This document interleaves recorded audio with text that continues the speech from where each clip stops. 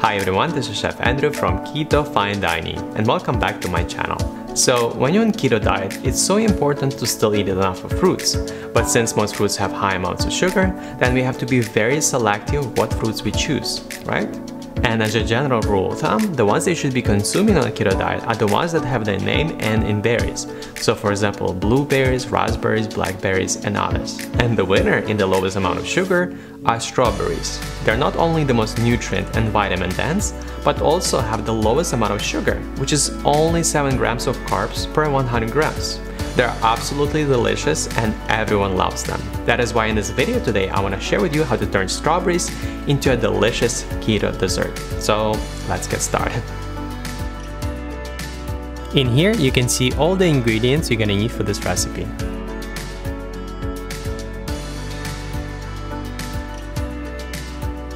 The first step is to slice as thin as possible 200 grams of strawberries and then add them to the bowl.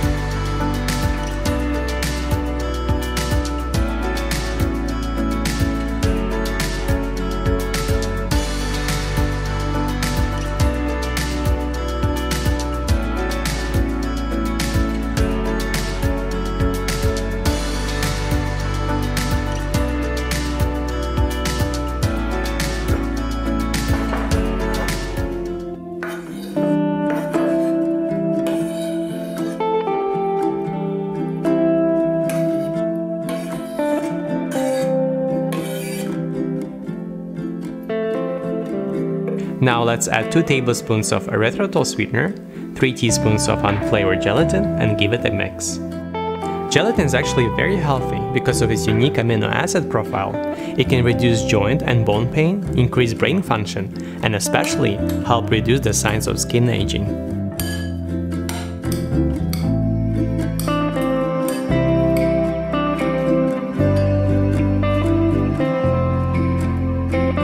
Right now, let's add 2 cups of hot water and mix again until everything is fully dissolved.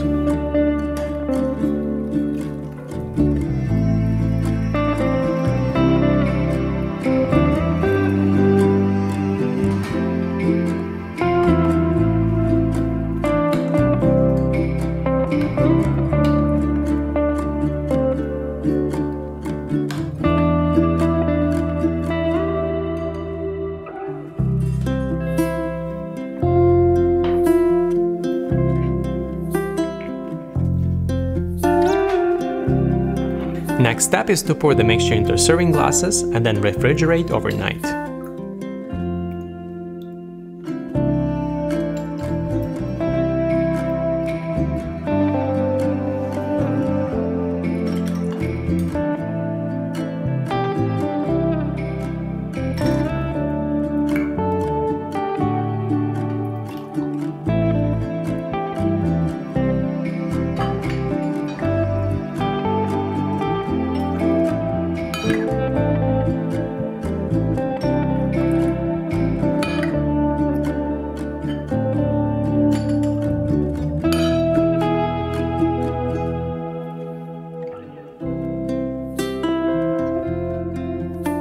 The next day, once the jello has formed, take it out from the fridge so we can put some delicious whipped cream on top.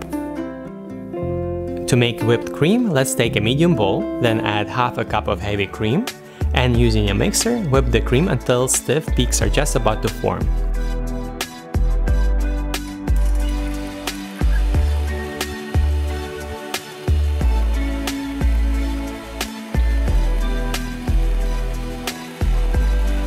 Looks like my whipped cream is almost ready. So I'm gonna add 2 teaspoons of erythritol sweetener and half a teaspoon of vanilla extract.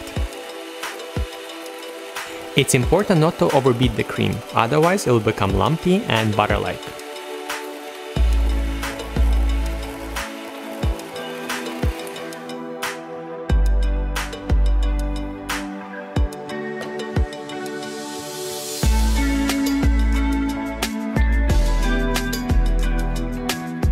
Now all you have to do is to put the whipped cream on top of the jello and you're ready to enjoy this delicious dessert.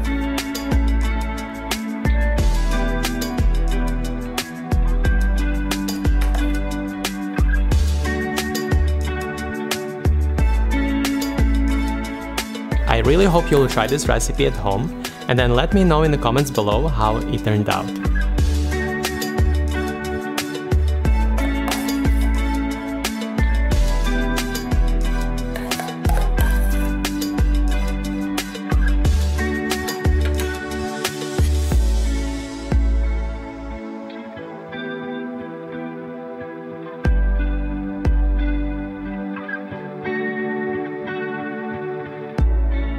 If you enjoyed this video, please hit the like button, then subscribe to my channel so I can make more videos like this one, and I'll see you very soon in the next episode.